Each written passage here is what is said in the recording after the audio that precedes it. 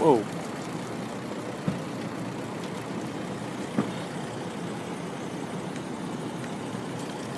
What the heck is going on right now?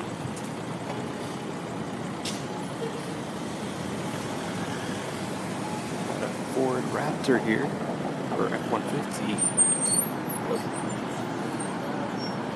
What the heck is going on?